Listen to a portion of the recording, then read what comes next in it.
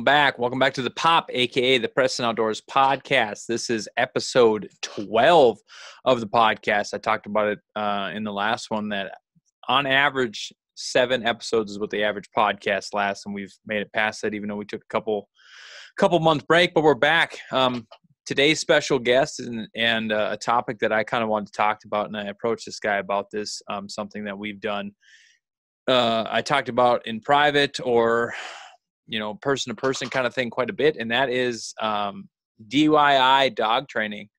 And uh, I'll get into a little bit more of my history on that. But we're going to bring um, a good buddy, AJ Potter, on. Uh, if you've seen any of the videos and stuff like that, or social media posts that we do here at Preston Outdoors, you've seen AJ for quite a while. If you're an OG follower on the YouTube channel or on the Instagram page, um, you'll know we've been hunting together for quite a quite a while. So, um, yeah, if you guys enjoyed the last episode, make sure you go ahead and we're going to do the shout out.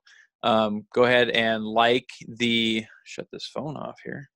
Like the uh, podcast platform, whatever platform you're on, go ahead and like and subscribe or leave us a review. I have read a couple of views on the uh, iTunes or the Apple podcast kind of thing. It was pretty cool to see some people actually going and reviewing and leaving some comments on there. I think it's really uh, really really cool again if you want to do any topics i just did another um couple days ago just did another actually two of them back to back days did some question on my instagram story on what some subjects that you guys would like to hear about we've got wild game processing we've got some more bass fishing episodes we've got some offshore bass fishing that people want to hear about um, and a couple other hunting topics so i've got them all written down here in my notebook right here. So we'll be able to cover a lot of those over the next time period. But for me, what we've got coming up here, and we're going to talk more with this on on AJ with AJ, excuse me, is hunting season. Last week's or last time's episode was with Zach Michelson. We talked about um, early season deer hunting. I don't know if you guys went and followed Zach or not. He shot a nice buck shortly after we uh, aired the podcast, so that was pretty cool pretty cool to see. Um, this this podcast is going to be a little bit different. We're not going to go into um, just for the season, time season wise, and where it's going to apply to you. We're not going to go into like if you just got a puppy uh, for the dog training sessions. I'm going to pick AJ's brain on something he's doing before, just before the season, or some stuff he's gone over in the summertime for for working with drills and stuff for his dog in the springtime. I've got it down on my calendar. We're going to talk about, hopefully, get AJ back on here and talk about some things that you just got a puppy, um, you want to help train it, that kind of thing. Um, not saying that nobody's getting a puppy this time of year for hunting, but most of the um, hunting dog sales for puppies and stuff like that is definitely in the spring. That way, people can work with them over the summer and then they're able to hunt that first full season. So, that's something that we're going to talk about. But once again, if you guys haven't already, check out Preston Outdoors on YouTube, Instagram, Facebook, and also we have a TikTok channel as well. If you want to go ahead and check us out there, we got some exciting announcements coming up here shortly that you'll be able to follow on all these social media pages. And again, that's a way for you to connect to me. If you got any questions, send me a DM on Instagram. I'm on there quite a bit. Otherwise, if you got any questions, Preston Outdoors two, the number two at gmail.com. Send me an email. Um, I would really love to do a question and answer podcast um, with a bunch of questions that were sent in from you guys. Stockpile them up and then, you know, do a Q&A. I think it'd be, be pretty sweet. So um, let's see. Yeah, that's about all we got here. Um, here shortly, we're going to bring AJ in and we're going to talk about some DIY uh, dog training tips, especially for this summer to just before season and during season stuff like that. So thanks for watching. And AJ will join us shortly. All right, everybody, welcome back to the Pop, aka the Preston Outdoors podcast. As I mentioned briefly before, we're bringing in AJ Potter. AJ, how's it going? Good, man. How are you? Oh, can't can, can't complain, can't complain. If everybody doesn't know this, AJ and I, like I mentioned in the beginning, are pretty good friends. Uh, went to college together, played football together and snap and talk almost every day. So this isn't that big of a, uh, I guess, reunion kind of thing. We get to talk a lot. So, yeah. but no, I really appreciate you coming on and, and talking about this. This is, you know, when I brought up and actually have it on my piece of paper here, I wrote topics I wanted to talk about um, as, you know, going season to season. The dog training thing was something I wrote down and definitely want to get you on here and, and talk about it. Yeah, sounds good. Appreciate you having me. So I know you pretty well. We just talked about this, but tell us a little bit about yourself. Tell us like it, you know, how you got into hunting, you know, how much you like it, what's your favorite kind, or you don't even have to mention that, whatever. But then yeah. um, maybe a little bit more on how you got into dog training kind of thing. Okay, yeah. Um, well, I'm AJ Potter. Uh, live on Western North Dakota now. I kind of grew up in Minnesota. Um, got into hunting because of my dad. My dad's, uh, I'd say, a hobby duck hunter. Um, so kind of got introduced to it with him. He goes out when he thinks he can shoot birds, and that's about it. He doesn't. He's not really in it for the grind. He's in it for the the trophies, I think. But uh, got into it. I was I don't know 14, 15, um, hunting with him, and that's kind of when all the dog stuff started too. Uh, I worked at a kennel. It was a Hidden Acres Pet Resort and dog training, and uh, what is it? It's probably not Clearwater. It's uh, probably Silver Creek, Minnesota is where their address probably actually is. They do a lot of field trial stuff, uh, all that kind of training. So that was really cool. Got to work with a professional dog trainer. and he makes money on it, so I'm sure he's a professional. Uh, dang good, dang good trainer. Um, I was just kind of a hand for him, and that's that's where I kind of got into it. And then we ended up buying our first chocolate lab. Her name's Belle. Kind of worked with her back home, and uh, then I got the new dog Duke here when we were in college. It was that sophomore year, mm-hmm. and uh, just kind of worked with him and trained a little bit. But yeah, I'd say if, as far as favorite hunting goes, it's probably still duck hunting by a little bit, but pheasant hunting is has kind of taken taken over part of the game for me too. It's it's fun to watch the dogs once they get the hold of it. So they're hand in hand for me, but I'd, I'd give the edge to duck hunting a little bit. Yeah, because that was my next question and I, I guess I didn't even remember you telling me backing up a little bit, telling me about that you worked at a dog training place. I did I didn't know that. It's still pretty cool. Even if you weren't actually doing the training, seeing how it's done and, and kind of firsthand is is you know pretty valuable information. Yeah, it was super cool, and and I kind of shared an interest with him in the dogs side of things, so he kind of mm-hmm. took me under his wing a little bit. Um, by no means a professional dog trainer or anything. I think it'd be a sweet, but yeah, watching him send dogs on you know six seven hundred blind blind retrieves. And it was cool to see. Um, obviously, uh, my dogs aren't to that level, but I, I, don't have the time he has. I can't do it sixty hours a week like he can. So. Yeah, yeah, and you touched on it. The next question uh, I had is basically your favorite species to hunt. Obviously, ducks, but is there one that you'd pick that you know you want to go for the most, or you prefer to go for? Oh man, I love hunting dry field mallards. Yeah, uh, they got they got a place in my heart. Um, I'm excited next year going to Maine to go sea duck hunting. Mm-hmm. That'll be really fun. That's kind of a bucket list one. And then one day this just sits on the desk. One day I'd like to shoot one of these actually colored up. That's it's my favorite duck right here. It's a spoonbill. I don't know. Probably get made fun of for that one, but yeah, that's on the hit list. But I'd say dry field mallards. I don't know about you, but I, I think those are probably my favorite birds to shoot there. Yeah, yeah. You know, like that was actually the next question is like kind of talk about what your favorite way, your favorite, you know, species to hunt. Obviously, mallard, and your favorite way to do it is is dry fields. I mean, yeah my history into duck hunting is a little i got started a little a lot later than what you did or even like when lex was doing it up mm-hmm. there um oh yeah you know younger is that we i didn't really even take an interest to duck hunting until i i mean obviously you know this but when um, people listening when aj and i became friends in college and lex had duck hunted some before we actually went out with my brother uh, it was like Dakota McGough and you, me, and Lex. We went out and actually yeah. for the first time did a field hunt. Like before the history that Elliot and I had was just puddle jumping. I take my German short hair, we'd shoot a duck, you know, scare him up, shoot one, she'd bring him back, that kind of thing. And getting out, sitting in a field, we had snow come in, everything like that. And I was like, we're not going to shoot anything. Didn't even bring the GoPros. And it was like the first hunt where we were like two birds away from a five man limit. I mean, obviously you remember it pretty well. Yeah, that hunt was a blast. I was like, this is freaking awesome. And then every yeah. year after college is when we started hunting a lot more. So, um, but yeah, my favorite, I still think it's mallards. You know, if I was to choose for waterfowl and yeah, in the field, just I do like the simplistic hunting of of water. You know, you don't need many decoys, oh, yeah. a couple mojos, the high is easy, that kind of thing. You don't have to get up as early. But I've never I've never seen birds do it as dirty as they do in a field. Um, especially during migration in a cornfield, hide, nasty weather. I've never seen ducks do it that well. Um, so for me, if I was hunting if I was hunting birds or ducks or whatever, that that's I'd be the same way as you are. Now, I the only thing I differ from is for species to hunt. I still think it's pheasants for me.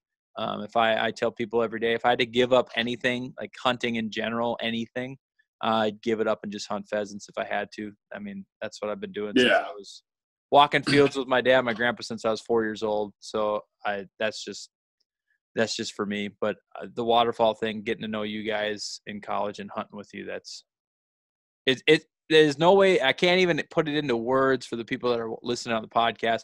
I can't even put it into words. It's just the if you go for the amount of time invested for the actual what you get out of it, it's probably not worth it at all. You know No, I mean? no. I'm working. I'm No, working yeah. on. I'm working on our Kansas hunt. We went on in 2019. The series of travel. It was so people know it was myself, my brother Elliot, AJ, our buddy Dalton, and Lex. We all went down to Kansas for a big hunt. And the amount of time we put in scouting, setting up, and versus the amount of birds we shot was like the outcome was definitely not what we wanted. But it's the same thing. It's the same thing anywhere else. You get up so early, you stubble blinds, you do all this. It's not it's really not worth it in the end if somebody's looking to like fill the freezer or like just stack a bunch of birds all the time. But there's Yeah. something cool about watching birds just come in on top of you and they have no idea you're around. Yeah, it's something fun about tricking them. Like you said, I mean, pheasant hunting is way more simple. You get a, some shells, an orange vest, and you go walk through a field with a dog, and you can shoot your limit of pheasants. You know, if you're in the right field. Yeah. But uh, you know, as far as filling the freezer goes, yeah, I put in way too much money. I, I could fill my freezer with a lot of a lot of beef. Tra- with the new trailer, the new boat, all the decoys. I mean, I I'm in it deep. That's why it's my favorite. But for me now, at this point, it's not even about the you know the kill anymore. It's it's those mornings, those trips that we all spend out together in the field. That I mean, you build that camaraderie. You find your group of people you like to hunt with, and I mean, you go out, you spend four hours in the blind, you laugh, you shoot. You know, maybe you shoot 40 birds, maybe you shoot three. It's still a good time. Uh, Yeah. But tricking birds to come in from a mile, like some of those late season migrators, see the mojos and everything, and they just drop. That's that's what gets me still.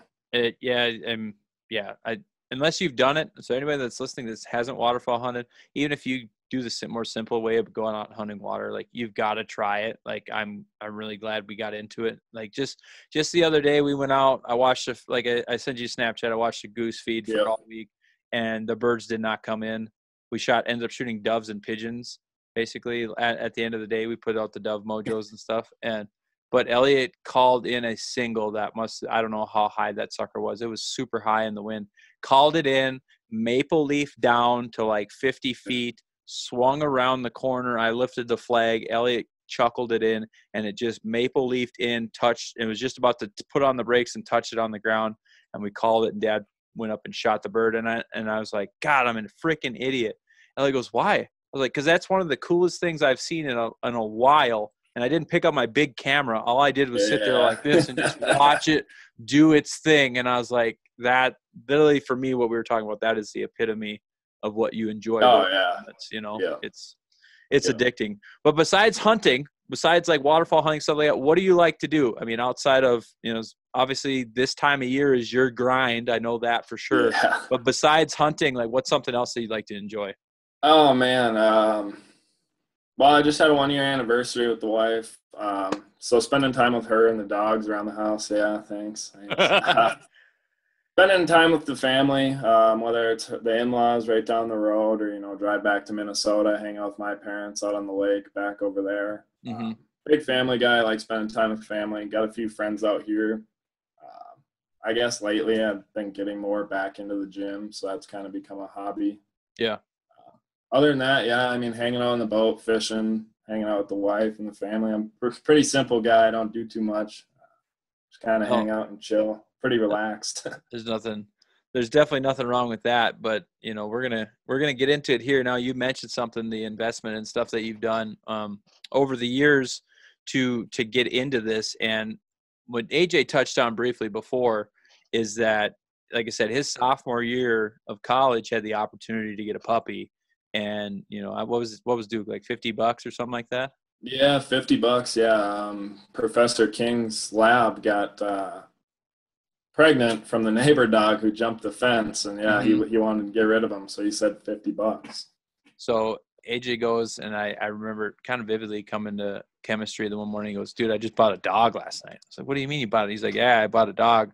First thing he said, I said, male or female? And he goes, well, I bought a male. I'm like, oh my gosh, here we go. This is, yeah. this, is this is not what you want to do. And, and like I said, we were all, we were hunting still. This is like our second year. Like our, the first hunt was like my, his, would have been your sophomore year or your freshman year my freshman year. My sophomore year. So that next year, the junior, that spring of, yeah, it would have been the spring. So we're going into that full season of my junior year, your sophomore year. I don't know how it works out, but anyway, he got got this dog, and before we were all running out there to get birds in the water, like we were doing the hard stuff, you know, what guys get started running in waders or, you know, filling your waders or your muck boots up to full of water if we're hunting water to get these birds. Yeah. Oh yeah. Running 500 yards to get a sailed bird, like just what kids were doing. And AJ decided to get a dog. And I remember, I'll probably never forget this. You asked me that one day or a couple days after that, you're like, I think I'm going to send him to a trainer. And I was like, dude, no, you you can do this yourself. You think so? I said, I well, I remember I yeah. said I t- told you the same thing I told everybody. Half an hour a day, and I bet you you won't even spend most of the time over a half an hour as a puppy stage, and you'll be able to to work with them. Yeah, yeah, and I looking back on it, I owe you, I owe you a big uh, thanks for that because no. yeah, the the time put in is well worth it once you see him come around the corner. But yeah, mm-hmm. I, I wanted to send him because I, you know, we were busy with football and college mm-hmm. and everything. And I was like, how cool would it be to, you know, pay this guy a little bit of money somewhere, walk, go get a turnkey dog after a year. Um, but you don't build that relationship with the dog that you can get when you're the one spending the time with them and you don't learn their little weird quirks and, and all that yeah. kind of stuff. So yeah, I, I I did want to send him to a trainer. Looking back on it, I'm glad I didn't. Glad I listened to you. Uh, still don't know if buying a dog sophomore here at college is smart, but here we are now. but you've you've paid your your investment of fifty dollars over tenfold for what Duke can do now. oh sure. yeah, yeah. He's the best fifty bucks I've ever spent. I'll say that till the day I die. I don't know if I'll ever spend a better fifty bucks right there. he's, he's been a good dog.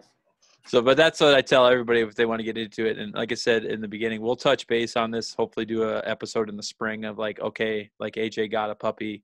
You know, you get a puppy. Anybody that's listening or watching, you're going to get a puppy. What's what's the thing that um, we can talk about? AJ probably has a couple different you know opinions on how to start a dog than I do, which is just fine. So that way you can bounce yeah. around ideas and, and listen to it. But so now that we've got our dog, obviously you've got Duke, I've got Abby um, and Harper yep. somewhat for pheasant hunting, whatever. This isn't really about a waterfowl. This isn't really about um, upland hunting. We can break it down into both of that.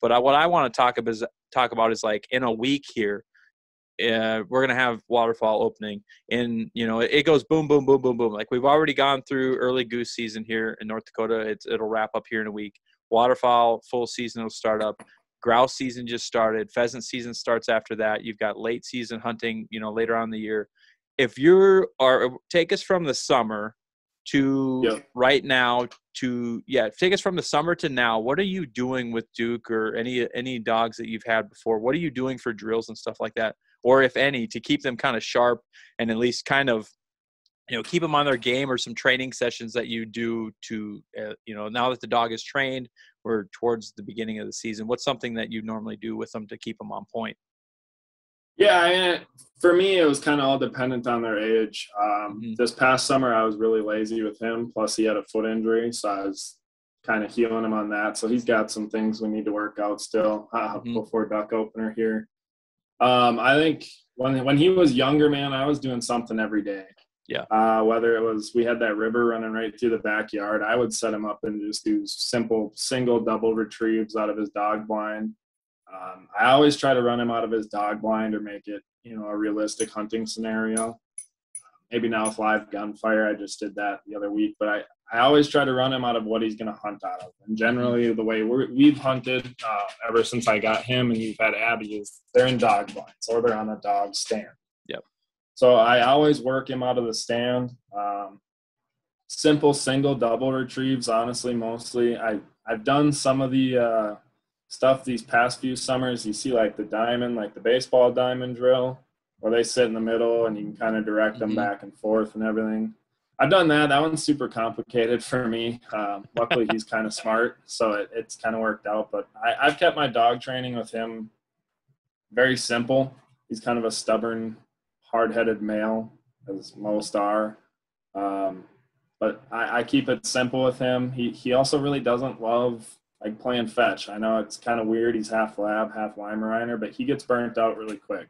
Mm-hmm. He likes the real thing. He likes the feathers in his mouth. So I do.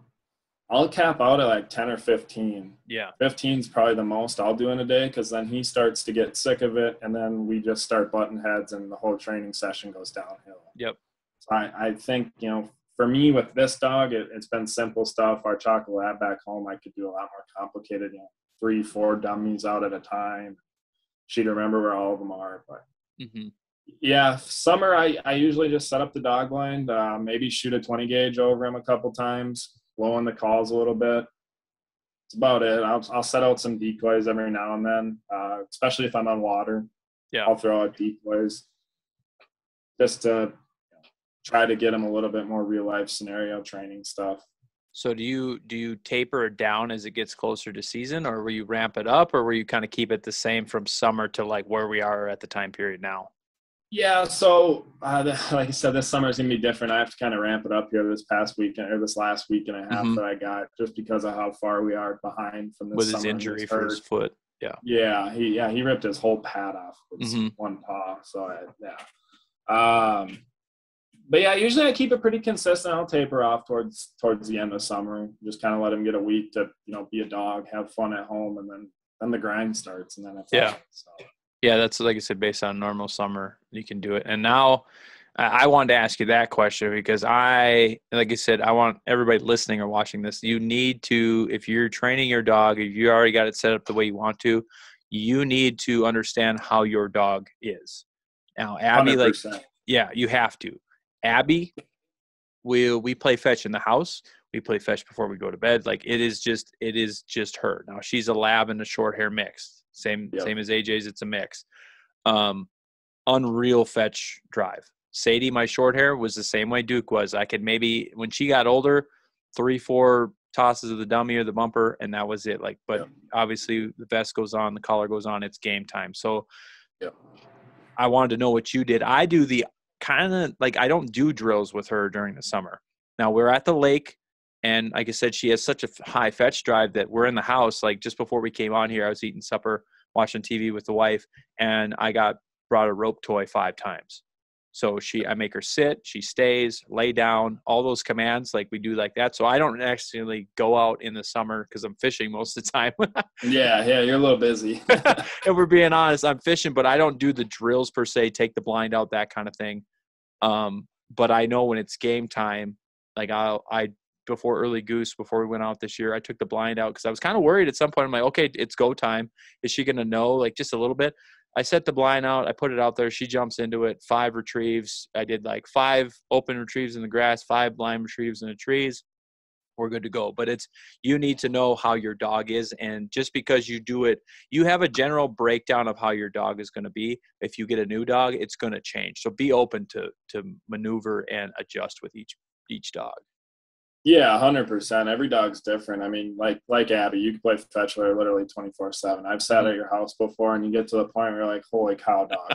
I, yeah, dang it, dude! Like, go away! I'm sick of throwing this exactly. For you." Um, exactly. But he he used to be like that. Now that he, well, I'd say once he hit 3 mm-hmm. he don't he don't like he likes the real game. I mean, he'll go get birds all day. You've hunted yep. him. He'll go oh, get oh, yeah. he'll go get ducks all day long because um, he gets the feathers in his mouth and it's game time. Mm-hmm. But yeah, training. I I'd say right now I I would never go over 15 with him, and yeah. that's stretching it right there. It'd be 15. And then another point that you you mentioned, you mentioned the butting the heads kind of thing. I is just one thing I tell everybody is that your training sessions are work to us, working on their things, but it's a game to them. And oh, yeah. so as soon as the dog, like today, Harper freaking brought me a dead pigeon. Don't know where it came from. So I was like, this is an opportunity. I made her point at the pigeon. I made her go get it and bring it back. Four retrieves yep. with a dead pigeon, and then she wouldn't bring it to my hand. I said, we're done. It's the same thing yep. any training session. That was just an instance that happened to me today. But any training session, you know, Duke's max is about 10. And as soon yep. as he stops bringing it back, he starts walking back. You can tell by your dog's demeanor that it's not as much fun anymore. That's when your training session stops. You always start and end on a high point is is my biggest key there. So knowing that as well. So let maybe I mean the way my grandpa explained to me when I first got started doing this is that they're just like us. They have bad days. There's going to be days. I mean, I was watching some of the videos that we done before where Abby will, you know, won't listen as well, or training sessions where they won't listen as well. So you've got to gauge that. Even if your dog is seasoned, Duke is how old now? Uh, six and a half. Almost he's six and a half. Abby's five. You know, they are going to have, even though they've had hundreds of birds, hundreds of retrieves, all this repetition, they're still going to have bad days. So you, as the owner, as the trainer, the person in command, need to understand and recognize when that is happening so you don't push them over the edge. Because as soon as it's not fun for them then then it's work and you don't want that correlation. You want them to keep you know every time you you whip it out it's going to whip the dummy out and get ready in the blind they're going to go Yeah, hundred percent. I always try to start him off too with something fun. Like I won't throw him in the blind right away. I'll drag the dummy around even though he's six in the grass and throw it and I'll let him play with it a little bit and we'll have a good time. Then we'll get to work, he'll be in the blind, we'll do our work or whatever, and then I ended on something fun too. Mhm. I'll try to, you know, amp him back up for the dummy for one last throw that's just a lollygag. He doesn't have to stay or nothing. He gets to run out. And I'll let him usually carry it back to the house or to the pickup or whatever. You know, it's his. He gets to end the training session with his dummy and he has a fun time. And then, yeah, I think ending on a positive note and starting on a high note is, is good. Cause you're going to have your lulls in training. Just Oh, yeah. it's it's like anything else so Yeah. when, when you're going now we're transition okay we got started we've got a couple hunts in you know whatever are you working with them in between like during the week or anything like that or are you just letting them letting them recoup No, yeah, not at all. Um, I used to. Now he's he's getting kind of old, and I don't know if it's the Weimaraner or what, but he's starting to get more stiff in between Mhm. hunts. Um, so he's getting a little old, getting a little you know beat up. He's got some joint problems and everything. So when we're not hunting, because when I go hunting now, because I get five days off every two weeks or whatever, my stretch is five days off. mm-hmm. So when I'm hunting, I'm hunting, and it's five days in a row. It's a hard five days, and then when we're done, he he gets his time to rest in between. Yeah. So he'll get you know eight or eight or whatever days off. We'll play out in the backyard. We got a frisbee out in the backyard. I'll mess around and play with him. But yeah, there's no during season. There's no training for me because he doesn't like it. He's too tired, and I'm too tired, and I got to go back to work. And Yeah. and I guess I would both of our dogs. I mean, people probably listen to this that don't know as much as a hunting dog is that they're a working breed. So like ten years is about like not saying the max. Like my dog Sadie lived till she was thirteen. Okay, we hunted her Yeah. till she was thirteen, but they got a lot. It's not like a dog that's in the house, you know, runs around, whatever. I mean, there it's a lot of work coming in and out of blinds, swimming, all that stuff. So their body gets you know more beat up. So six years old to somebody is you know it's to us it's not old old but he's getting older kind of thing so if you're Yeah. starting off with a younger dog you know maybe take them out put them in the blind for five six retrieves in between your hunts just to reinforce what happened there or i've done it before man. I get a teal or something like that or a fe- or a duck whatever pheasant grouse. I might not even clean the thing. I'll put it in the freezer pull that dead you know full bird out and Mhm. drag it around for them in the middle of the week before you go. When I was when I was younger, I'd take a pheasant the morning. I had a frozen one in the freezer. I'd morning when Sadie was one or two years old, I'd let her smell it or whatever, and I'd throw it in the freezer, and then we go hunting. I don't know if that helped her at all or it helped me, but you know, with with what Abby and Duke do um, during the week, and again, I just want to know what your opinion was. You can, if they're younger, I would definitely try a little something something with them Oh, yeah. During, in between hunts. But I was just curious of what you did with Duke because, like you said, AJ has the opportunity in this. For the people that don't know this, this is his go time. Like I said, he doesn't fish very much, doesn't really care to do that. Hangs with family. All his money's invested in his decoy trailers, duck boat, all that stuff, decoys. And so when he gets his days off, like he's gone. So it would almost be counterintuitive for you to really push, you know, not not necessarily push him, but at least like bug him a whole lot in these in these training seminars. Especially, it's not like most people you get a Saturday, Sunday, you get two days of hunting, five days off, or five days for the dog to rest. It's kind of the opposite for him. Yeah, exactly. Yeah, we hit it hard for you know five in a row. Usually have a travel day in there, but Mhm. I mean he'll get. And then once pheasant season starts up, I mean you're hunting ducks in the morning, hunting pheasants in the afternoon. Yes. So he's go go go all day long. So it's literally just feeding him, letting him rest. hmm Um, but yeah, I used to definitely do a lot of stuff, and especially if we had a bad hunt, I'd bring him home into the backyard and valley, and uh, work with him out on the river hmm because it was like, well, you had a bad day. Let's go, you know, tune up on some of that stuff. And he had a higher drive back then, and he was a young, dumb puppy, so I could get away with it. But yeah, Yep. now if I didn't, nah, me and him would, we wouldn't get along. That's for sure. He wouldn't. He wouldn't even do it. I don't even know if he'd he, he'd do it for a little bit, but I'd maybe be able to get four retrieves out of Yeah. him after a long five day hunting. So hmm Yeah, and Yeah. it's, like you said though, if you, if you have a younger puppy, I definitely do it. You got to stay on them a little more because they Yeah. just they haven't been around the block so much. hmm And I think it'll be different. Like when I'm working with Harper, it is the same as Duke, or the same as like with Duke or any younger puppy. Like I have to stay on her. She is, for a female, is the most stubborn dog I've had to deal with. You know, Yeah, from- she's a little hard headed. Yeah. oh my gosh, she is. And so for her, I want her just as an upland dog. So we work on pointing, we work on releasing, retrieving, that kind of thing. Abby does, you know, does a little bit of both. But I, I mean, I'm the first to admit um, when people ask me that question that I asked you is during the season, do you do much with them? I answer is no. Like I, I'm lazy when it comes to Abby because I've been blessed to to the way she is. But you also got to recognize we talked about this is going to bounce back and forth every single time. You have to recognize how your dog is, and you also I would think, what would you? I'm trying to figure out how to do this um, question. But if we've got, we're talking general terms here. Obviously, both our dogs, you know, from Duke and Abby's wise, they both upland, they both waterfowl hunt. Would you see a difference? Do you think in between if you had one that did one or one that did the other in in um, like the amount of time that you would put in per se, or the differences between the two, training wise? Uh, yeah. Um, unfortunately, I've always had kind of dual purpose dogs. hmm I think with pheasant hunting, there's not really much you can do per se training like a lab because I mean you can introduce them to the scents like I've done that you know you introduce them to scents um, but the biggest thing for me when I when I had him when he was young is I just brought him out with dogs who knew what they were doing. Hmm and I'd let him run. I let him run free and you know go see what the heck is going on. Um, for both they have to be obedient I mean you got to do a ton of obedience for both styles of hunting but I, I don't know, man. Instinct wise, more so you need to rely on for pheasants. To where duck Yeah. wise, you can work on, you know, sit, watch, bird drops, you go get it, you come back and bring it to me. I mean, I, I've never really trained pheasant hunting dogs. I, I've just gotten lucky. hmm You know, bring them out in the field and hope they step on one. Yeah. And then you shoot it and they get their reward. And then Yep. they know. Yeah. Yeah. And that's that's true. Like I said, the first dog, Abby was the first dog that I've ever trained waterfowl hunting. So I was on the complete opposite thing. Um, when I trained Sadie, I was 11. You know, we did upland. That's all we did. Like I said before, we didn't duck hunt at all. So the mistake I made with Abby is when I started her off, I I said she's going to be a waterfowl dog.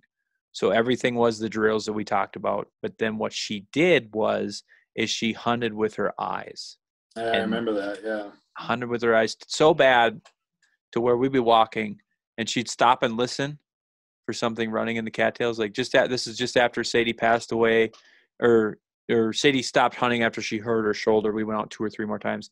Abby's running around. She stops and listens, and then she started jumping like a deer through the cattails looking for pheasants.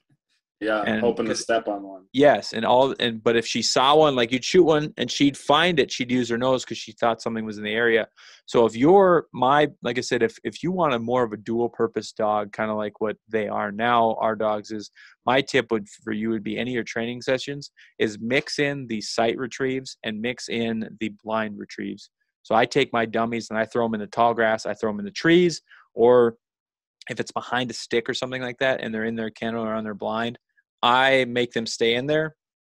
I'll walk in front of them. I'll put my hand in front of their eyes, just mess up their line of vision and send them out. And you can tell that then they're forced to use their nose. But if, if you are, I would say this after your puppy figures out and stuff like that of your mid summer training, I do not go back to, for an upland dog, I do not go back to line of sight retrieves. Everything's in the grass, everything's in the trees, wherever where they can't see it, and they're forced to use their nose. As for a waterfowl dog, as you know, like AJ mentioned, they're sitting on a blind, they're sitting, you know, sitting on a stand, sitting in the blind. Half the time they're watching the birds. I mean, I, I know many times where you look at Duke and Duke's got a bird spotted before we do. Oh yeah, hundred percent. Yeah. So those dogs are marking birds with their eyes. I would say this: if you want to do upland, once your dog gets done, like we episode we'll talk about later, get them the retrieves. I wouldn't throw it in where they could line of sight. If you're doing a, a waterfowl dog, I would mix it between both. I wouldn't go all line of sight because you drop you drop birds in the grass, you drop them in the cattails or thicker, you know, field hunting stuff like that. So mix that what that's what I would say for a tip for somebody is mix it up for line of sight and and smell just so your dog gets trained that because that's a mistake I like I said with Abby she did not want to use her nose. Yeah, I remember that. Yeah, she did. She, yeah. Now, now she sounds like a Hoover vacuum. You can't hear anything on camera when she's using her nose. Yeah. But uh, yeah, that definitely those. I, I don't know if they're blind retrieves or whatever you want to call them, but mm-hmm. hiding something in tall grass or throwing them in tall grass. Uh, I've walked out and put him in a kennel or you know where he can't see it all. Walked out and hid three or 4 mm-hmm. with some of that cheap scent from like Runnings oh, yeah. or Walmart. That stuff's great. I mean, if you don't want to, you know, keep live birds or uh, wings or anything in your freezer, you go buy some of that scent and put it on those dummies. I mean, stinks forever. Yep. Uh, but yeah, then you just walk them in, and you know, I think both of us are the same. When there's a down bird or whatever, it's dead bird. Mm-hmm. So uh, then you know, it's kind of funny to watch them both on video now because they hear dead bird and both their heads are like this and they right down to the ground. I mean, they're running and their noses are on the ground, so it's fun to watch them. But yeah, definitely, definitely making them use their nose. You can't take away that instinct, and I think that's where some people mess up by only training, kind of like you said, only training for you know waterfowl, but you still mm-hmm. want to be able to take them out for pheasants. Like you only do things where they can see what the heck is going on. You're gonna wreck the fact that you know they might have a fabulous nose, but they never had to use it. Yeah. So then when it comes yeah. time to use it, if they don't have that instinct that kicks in, they're just going to be running around like a chicken with their head cut off, hoping to step on something. Yep. And I've noticed over the last couple of years compared to some of the dogs I've hunted with, or done before. Abby doesn't have the best nose. Like that's that's just net genetics, and that's just the way it, you know way it is. Like if I'm comparing her to, to Sadie's nose, there's no comparison. But yeah. she does she does I mean do a lot of things that Sadie never did do. But I'm just saying that I've realized over the last couple years. So you have to adjust to that. You know, if you're yeah. Oh, eh, if you're buying a more expensive dog, whatever, sometimes they work, sometimes they don't. I'm just saying you have to realize how good your dog is. We used to have an English setter her name was Birdie. If she locked up on point, there was a bird there. Like yeah. there's no false points. Yeah. And she would walk past birds because they've ran. But like if there's a bird holding and that dog locked up on point, there was a bird there. Where other yeah. dogs would have a better nose, lock up, and then you you know we'd hunt to where the bird had ran to. So you have to you know maybe suck up some of your pride and realize, hey, your dog isn't the best at this, that, and the other thing. But what I what we always do is adjust your style to what the dog the dog is good at and stuff like that. So, but yeah, you gotta. We're gonna go back and forth every single time, but you're gonna have to adjust to where your dog is and your style. That's something yeah. I want to talk about after my next question for you. But is um, the season's over? You're done. It's freezing cold out. Whatever you know, like even upland or duck hunting stuff like that. Are you pretty much taking the winter off, or are you going to still kind of do some drills and stuff, maybe outside or inside your house? Yeah, no, I'm too lazy. Um, by the time duck hunting's done, uh, and then you get those last few weeks of pheasant season, I'm burnt. So mm-hmm. I, yeah, I, I, take the winter off. I let him be a dog. I let him be a house dog. I let him not have any cares in the world. He gets to come home, be fat and sassy, and mm-hmm. I don't I don't worry about his weight really in the winter. Uh, don't worry about his fitness. Like he's he's a fat, lazy couch dog when when the winter hits and then I'll revamp it up a little bit in the spring when it gets nicer out. But yeah, I, I'm lazy when I when season's done, and I don't like the cold. Mm-hmm. So I, yeah, and he doesn't either. Know, you've hunted with him. Uh, yeah, kind of goes back to knowing your dog. He he is half lab, but he's half Weimaraner, and his coat is more Weimaraner than lab, 100 mm-hmm. percent. He's got a little bit of lab down the middle of his back that's thick, but like but his chest thin. has no hair on it. So he gets cold and he gets cold fast. And when yep. he gets cold, if he's not pheasant hunting and actively doing something, he gets sick of it and he'll start holding up a paw and he's done. Yeah. So, uh, yeah, it, I don't, I don't do anything in the winter. I don't know if you do, but winter time for me is relaxing time and we just kind of hang out and be buddies at home. And I'm no longer the, the boss per se. I'm just your dad. Yeah. I'm just the guy on the couch feeding them Cheez-Its or whatever. You know? Yeah. No, for me, like I said, I don't do much drills anymore anyway. Um, yeah. But her fetch drive is so high, like every day. You know what I mean? Like Yeah. I play fetch with her every single day. I, you know, I, I do this drill kind of what I made up when she was a puppy is that I take her rope toy away, I put it between my arms, and I just say my toy. And she, it's one, a way that I've in my head it works, and I've seen it work for her anyway, to where she starts digging at my arms and getting in there, kind of growling, playing. She's never bites me or anything, but then gets Yeah. super aggressive, like what I want her to do, kind of and goes in there and pulls that toy out because I've seen too many times where you down a pheasant. And for people that don't know, you know, if you're not if you're not hunting, like when we went to Kansas and they're hunting pen raised birds, that kind of thing, the birds up here, North Dakota. South Dakota, are are tough as hell. Basically, is what Yeah. it is. Oh, yeah. You knock them down. Uh, just last year, there was one buried in the cattails. My dad, he marked it. I walked over there and I said dead bird, and we had four dogs out at the time, and we could not find it at all. And all of a sudden, I hear the Hoover vacuum, her just Oh, sucking yeah. in, and I saw dirt flying, and I go over there, and it's just her tail sticking out, and I pull the cattails back, and she's actively digging and kind of growling, the same noise I do when I do that drill. Pulls out a pheasant that dug himself in a hole you know so between that playing with her with that toy or playing fetch that's kind of that's all i really do um in the in the wintertime but it's just mainly because she keeps bringing me the stupid toy every single time but like i don't actively go out and do drills with her or anything Yeah, I'd say when, when Duke was a puppy, I did more obedience stuff during the winter. You know, I'd work Mm-hmm. with him on heel, sit, lay down, walk across the house, heel, sit, lay down. Yeah. Uh, and do obedience stuff. But yeah, as far as going outside, no. I, Yeah. I don't do anything. and you I'll play with them in the house. We'll play tug of war, but that's about it. Mhm. and exactly what you said is that if you like i said if you got a younger dog don't take the winter off i would say um, Yeah. all the stuff i may do a couple of those retrieves in the house where she's free to go do whatever she wants but Yep. most of the time i'm making her sit stay she's doing on her release command even with harper i make her point in the house i say whoa and she has to stand there and hold her point until i release her so you can take um, any of those little time periods you have five ten minutes you can do that throughout the winter i was just curious Oh, from yeah. a, you know an older dog standpoint if that's something you know more seasoned dog if there's something you did in the wintertime but um, you know just kind of let him hang out and be a be a dog for a while but there was a point you mentioned um, about his diet is there something you do is do you change his diet up from you know say summer to season to off season kind of thing that you mentioned Yeah, I do. Um, so winter, he he gets cut back on food, but he's not really exercising. So uh, during the winter and spring, I'll feed him. I don't know, three cups a day, probably give or take. mm-hmm. And uh, I don't I don't like have an exact measurement. We have a cup in there, but I fill it till it looks right, and I go. Yeah. Um, Yeah. But in season, uh, summer, I'll start to bulk him up a little bit, maybe up to you know almost four cups a day.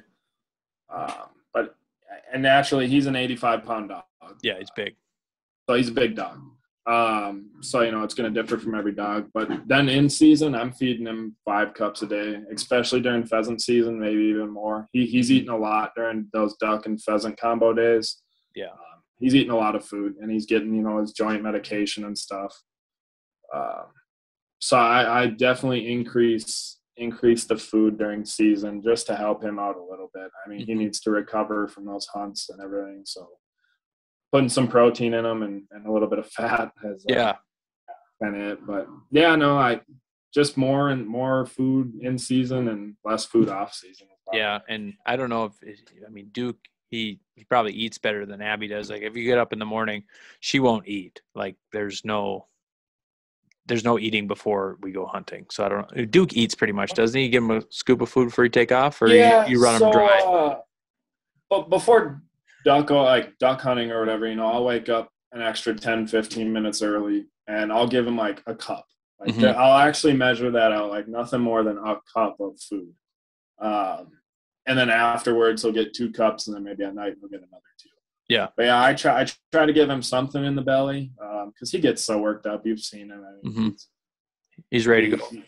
yeah, he gets so worked up. It's like I need. I, I remember like going back to football games and everything. Like I couldn't perform even at practice in two days if I didn't eat, you know, a peanut butter jelly sandwich on the way down the line. Mm-hmm.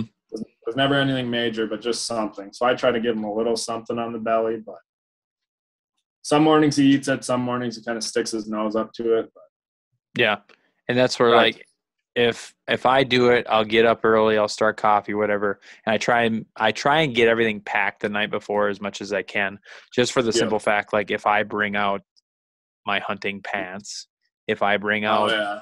The Oh, bag, the bag that has the collar and the vest and stuff in it, or whatever. She's she know Abby knows what's going on. There's no like calming her down or like whatever. So like if I can, I try and get up a little early and remain calm, get her woken up, you know, put her outside, come back from the bathroom, and then she might eat something.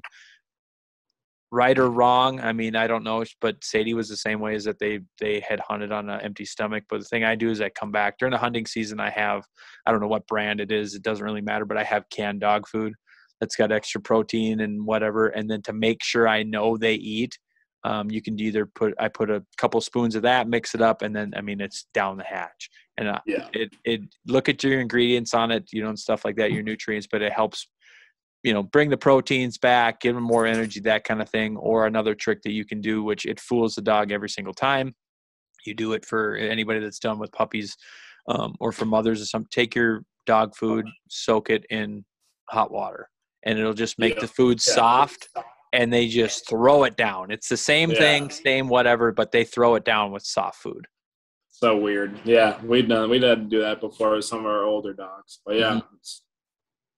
I don't know. I don't know what the right answer is, whether you feed them or not. Uh, I do. Yeah. Our And chocolate lab back home, she won't eat once she Yep. sees camo. She won't. Mhm. eat. So, and that's where like I try and if I can remember get everything packed away. She's all freaking out whatever the night before. It's like just calm down. We've got six hours of sleep here. Most of the time, three hours of sleep. We got to get to bed here, kind of thing. Yeah. Um, so before she before she eats, kind of thing. So that was one of the questions I had for you. Now for us, I mean, we've had dogs before where they have to be portioned with their food. It's just again the dog situation. With with her, I just we just leave food out. They eat as much as they want when they want, kind of thing. So Okay. it depends on how you do your feed schedule as well for your dog. And like I said, I am no veterinary expert, blah blah Yeah, blah. so I just said this is what I've done, and I haven't had a dog collapse or anything. We've done good, Yeah. you know, and their performance, their performance is is there in the end.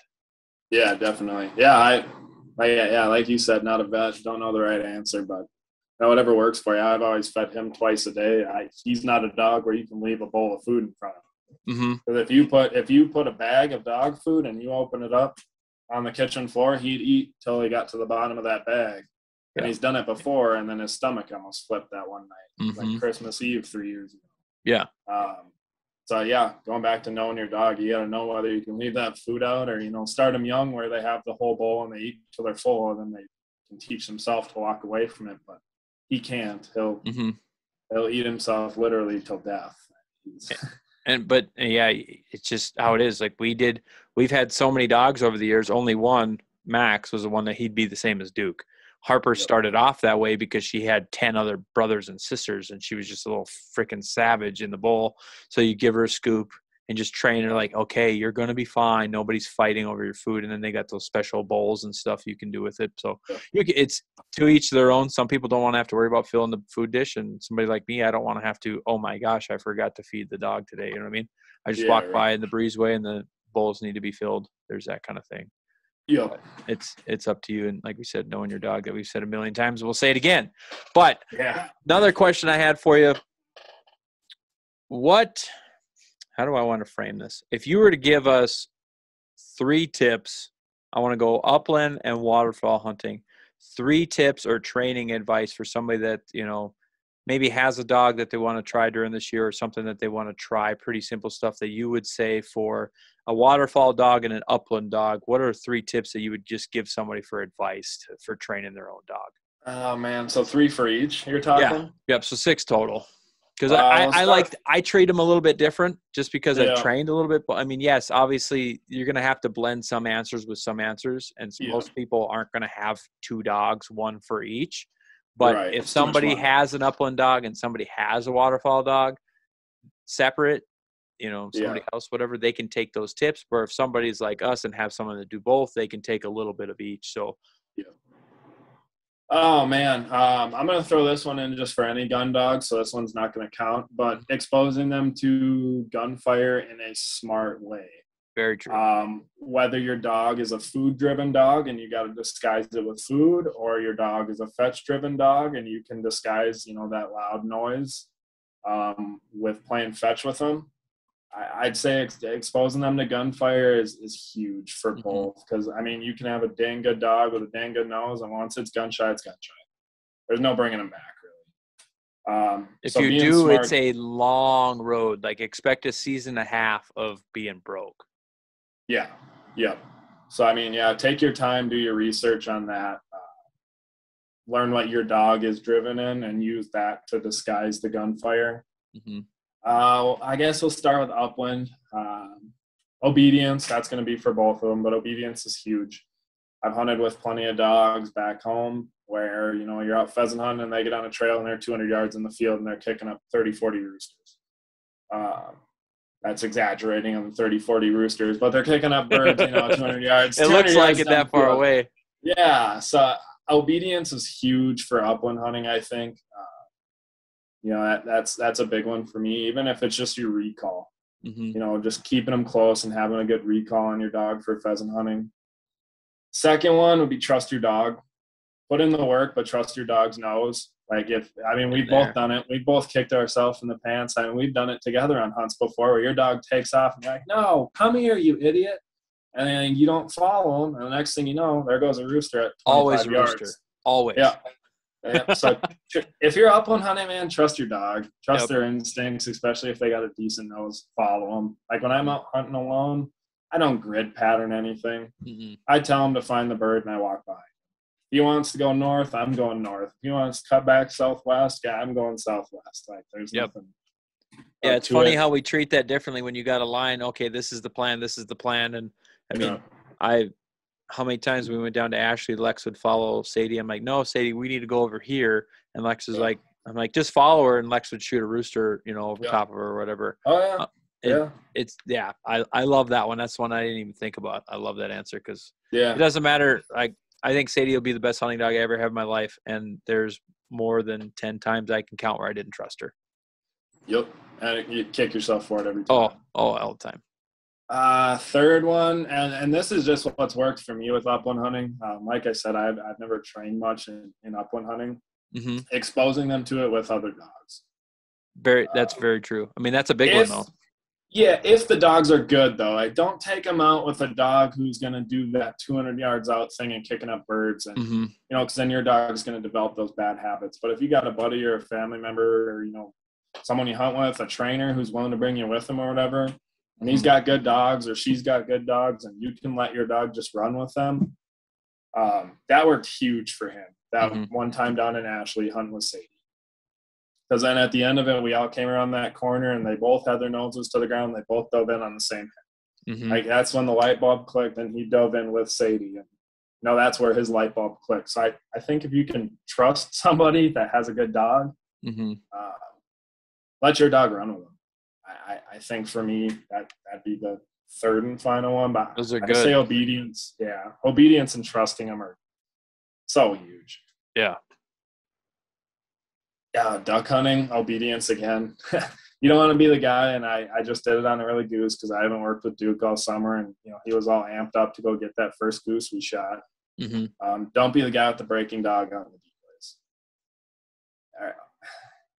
Which there's some good dogs who do that, but I don't like hunting over dogs that do that. So when he did it, um, it was extremely frustrating for me because he's always been pretty good at not breaking. Um, he's a hard-headed, stubborn male, but I, would say obedience is obedience is huge because you know you don't want them to break out. If you land four geese and you got 30 coming in behind them that are all cupped up, and you're hunting with six dudes, makes more sense to let the four land, shoot at the 30 in the air, and shoot some off the ground.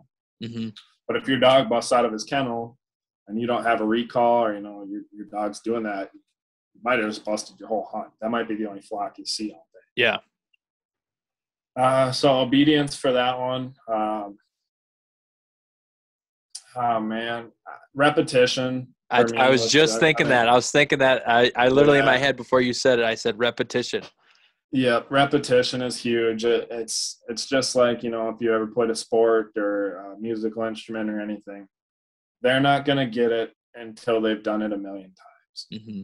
Uh, and you can just watch throughout the progression of a dog's life how much better they get at duck hunting how much Oh, yeah. they you know whatever so You so repetition you should especially see like the- you said Go ahead. I, Go ahead. I'll let you finish. oh yeah like like you said earlier when they're young i mean stay on them like work them work them work them repeat repeat repeat Mm-hmm. and and stay on them so that you know they kind of start to develop what the heck they're supposed to be doing because I I'm I'm editing this video like I talked about before. It's 2019. There is like, and I was watching. I'm like, what the heck is going on? So Abby is two and a half when we went down there. She is breaking out of the kennel so much, and I'm like, dude, like I don't remember this because I just remember now. I'm like, my goodness, what? Uh, uh, I was editing. and She was up here. like, what the heck? I was talking to her. What the heck were you thinking? You know, what was that two years ago now? I'm like, what the heck? like they have she's come across so much better in the last two years and i thought she was good back then but we went Yeah, down right. to kansas and it was like every time i'm having to shock her to get her back in there. So and and that's on me doing neglecting it and not doing stuff with her like we talked about before. Or now yes i can get away with it. She's older. She knows the drill.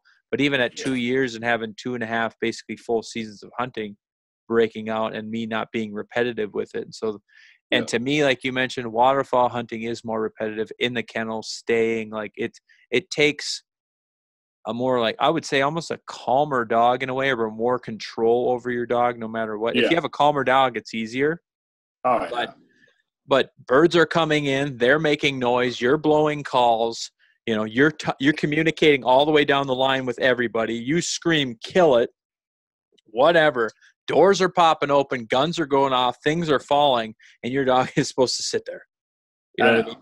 So Yeah. that repetition is definitely like now that you think about it and i just walk through the progression i'm like dude i don't know if i'd stay in the freaking kennel Well, right, exactly. Because I mean, they're getting more amped up, you know, because they're watching them just like we are. You're getting ready to pull the trigger. How many times do you miss your first shot on a All the time. bird like this because you're so excited? Yep. And then you're like, oh crap, freaking aim your gun, stupid. mm-hmm. But yeah, I mean, you you hop out, and I think most of them they just want to see what's going on. Yep. So they want to run out, and I think another thing that we've made a mistake with, but you can't really can't really help it because we all have dogs. We all want to hunt our own dogs. When you get three or four dogs in a field, you know, two is manageable. Mm-hmm. When you get to that three point or four, if they're all not really, really good dogs, they start competing with each other too. And if one breaks, you're bound to have another one break. Yep. Because they're like, screw that, that's my bird. Mm-hmm. Um, so I, I think being, you know, repetitive with your training and then also correcting your dog at, at times you can't get lazy. And I did it just on early goose. Duke broke and I didn't correct him. I didn't make him come back to his kennel, re-kennel before sending him on the bird. I just let him go get it. Mm-hmm. So that was on me. Again, and you have to be able to stay up on your dog. And you know, sometimes you got to be willing to put the gun down. Yeah. If your dog's having a bad day, and you got four or five other guys with guns, put the gun down. Wait till someone limits out. Let them run your dog. Mm-hmm. You know, if you trust them to do that. We, and we've we've both done that either Yeah. or. Now for me, I run the camera a lot, so I don't shoot as much until somebody limits out, and then I'll give them the camera kind of thing. So I'm able to run her a little bit more just by voice commands instead of shooting. But you've done it before too. In multiple hunts, you just put your gun down, and said, "Hey, I need to work with him for five, ten. Or you're like the next flock for sure. The next two flocks, I need to you know work with him um, Yep. to make sure. Because for me, the breaking thing. Um, when you and I talked before you were training Duke, or you know, you I've watched the hunting shows and all this stuff, and and it's a personal preference. If you want to stick your dog in your blind with you, and the dog pops out with the door, like I don't care what you you do. That's Yeah, on it's your what- dog, yeah. whatever you guys want to do. I'm not here to tell you this, that, and the other thing because we'll talk about this in the next episode that we talk about dog training. If a professional dog trainer like my neighbor was to come over and watch me train, he'd be like, "This is all wrong." But this is the way I want to hunt. And when I Right. want to hunt, my dog will be in a blind, my dog will be in a stand, and they will not break. Yep. That is our Yep. my rule of thumb, especially on water when you're dealing with crippled birds and swimming, and you want to make sure they're dead with the wind blow, all those whatever um, things we ran across. You've got to make sure you can trust your dog because there might be times where you Joe Schmo joins you or a buddy of a buddy, and they may not have hunted with dogs or geese, you know, on the ground and, and wounded birds, that kind of thing. A lot of dogs get killed because there's crippled birds in the water, crippled birds on land, somebody's not paying attention, especially if it's darker out. We both have black dogs; they go running out. You know, that's where your accidents happen. So for me, it was a safety thing. These dogs are not just you know machines that we talked about before. They are my pet. They are like my child basically.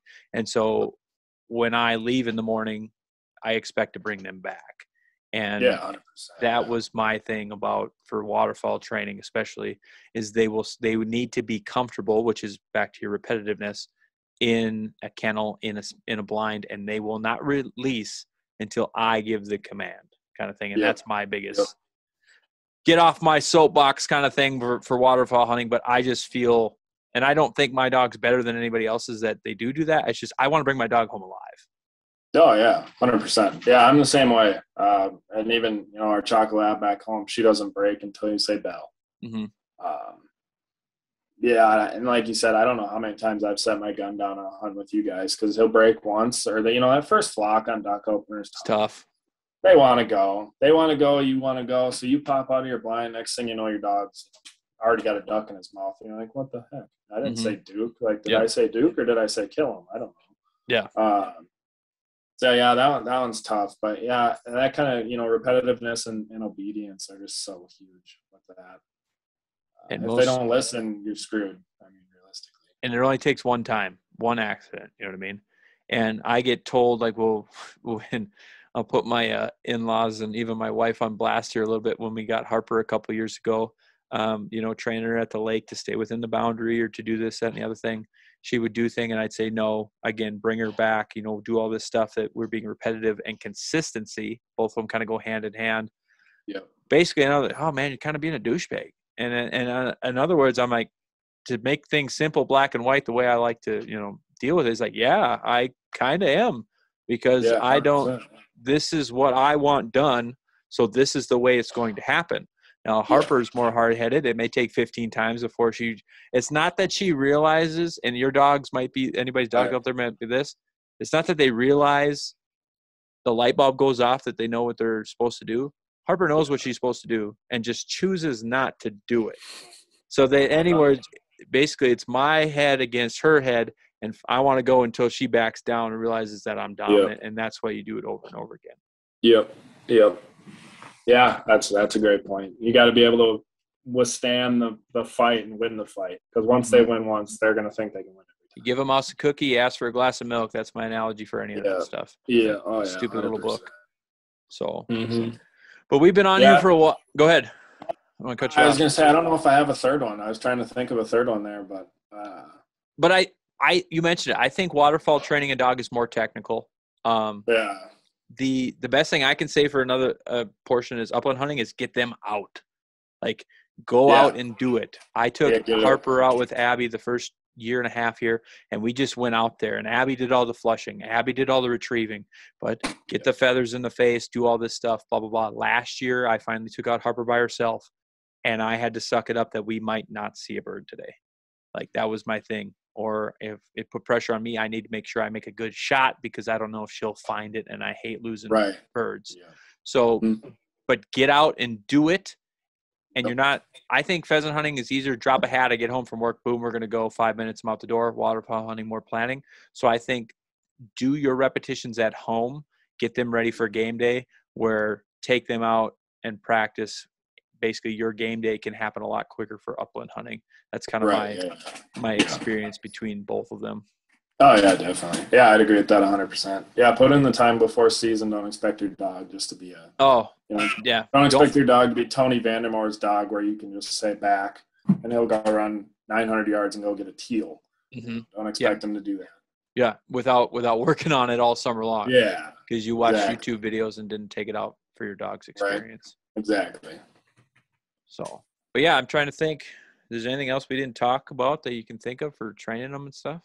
Oh man. Um, I guess for me, one thing now that I look at it, I know we were kind of joking around about it on early goose and everything. Uh, I, I'm a prepper. I'm a preparer. Mhm. Uh, I, I've seen dogs get injured in the field and everything.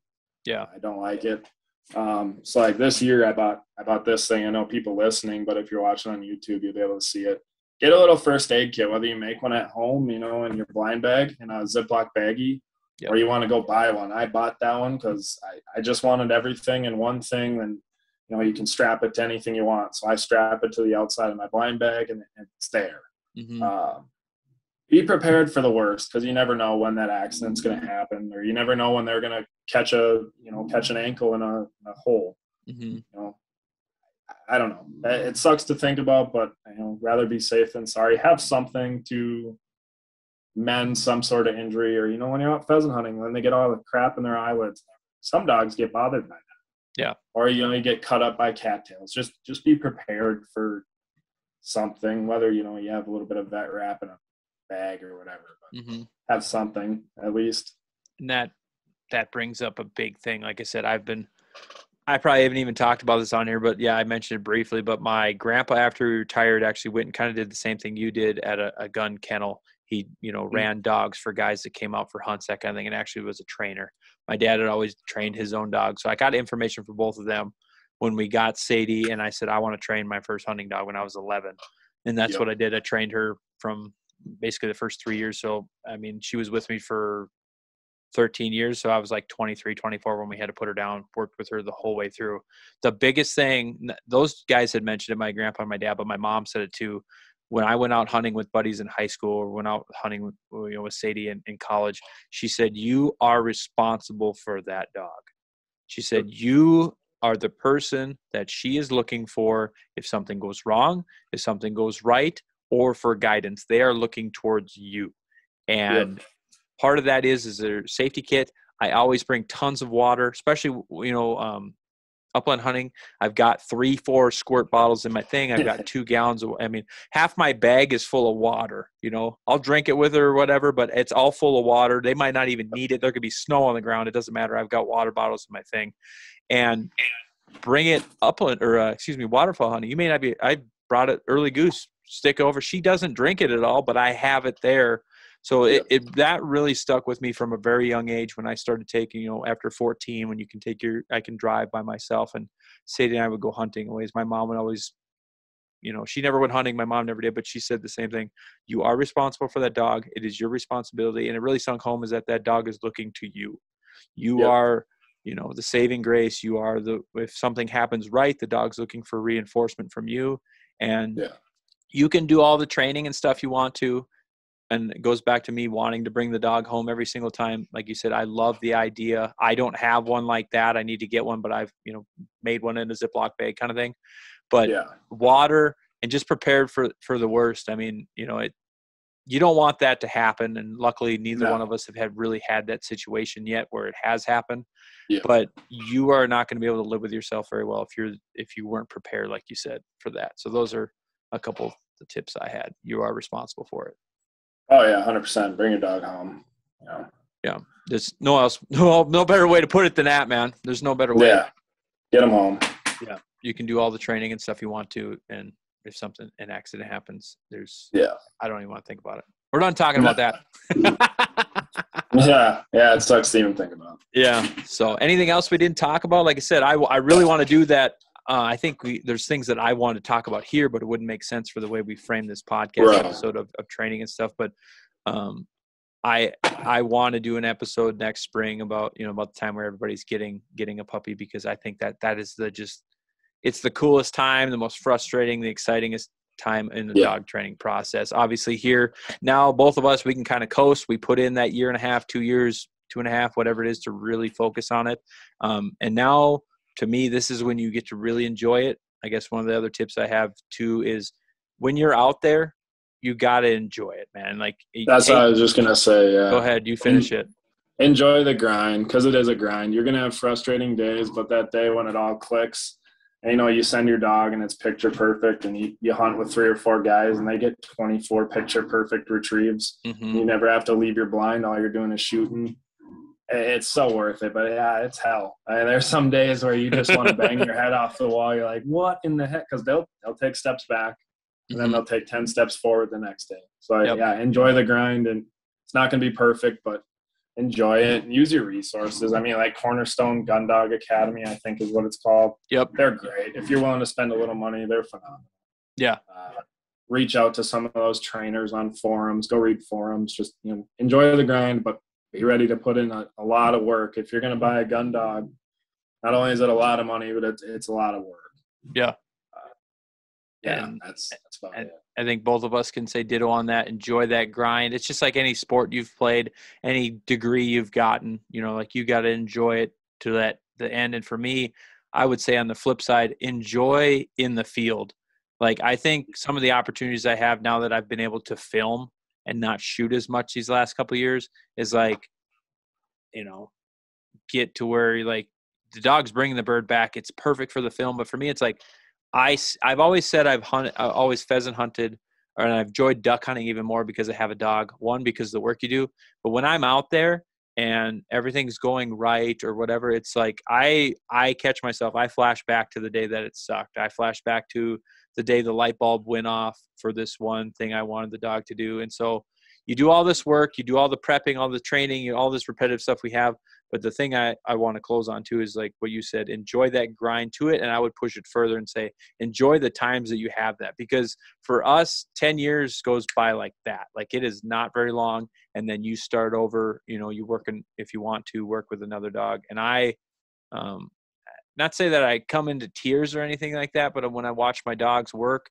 but like I start beaming as if you know I just had my first kid or something like that for the oh yeah for the for sure. the simple fact of of take that in and like I said, it's not so much the kill and the limits as more as older I get here now.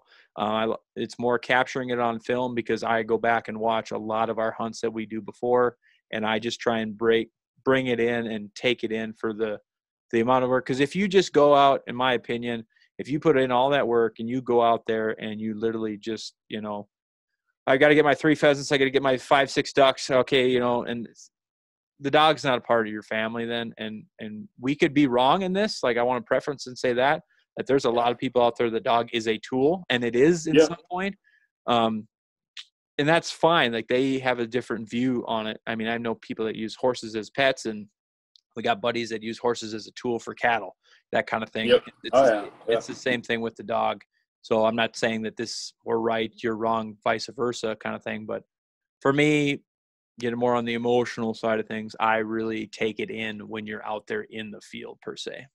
Yeah, yeah, hundred percent. That's like I was already thinking, you know, duck openers in ten days. Mm-hmm. First couple flocks on opener, I'm not even going to shoot.